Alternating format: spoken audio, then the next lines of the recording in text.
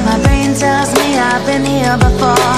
Don't wanna draw any attention to all the crazy things that I shouldn't mention. North Korea's missile launch on Wednesday now confirmed to be their most sophisticated to date. Defense officials from the U.S. and South Korea confirming the missile was an ICBM capable of delivering a 2,200 pound payload to virtually any point in the continental United States. 외형 등을 고려시 If it were fired at a normal angle, it would be capable of flying over 8,000 miles. That means it can reach Washington, D.C. 평가되며 And on Friday, signs emerged that another test could be underway soon with the construction of a new launch pad. It's a big step forward for the North Korean military, which has pressed on with its missile and nuclear programs despite the Trump administration's attempts to isolate the North diplomatically and economically.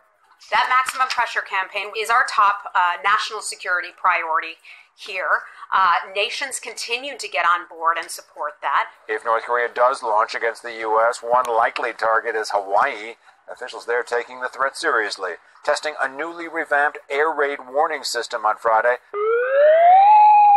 Tourists and residents say they think it's a good idea, given the unpredictability of North Korean leader Kim Jong un. He seems somewhat inst- unstable. And uh, because of that, I think precautions should be taken. It's concerning. I feel a little bit like it's it's out of my hands.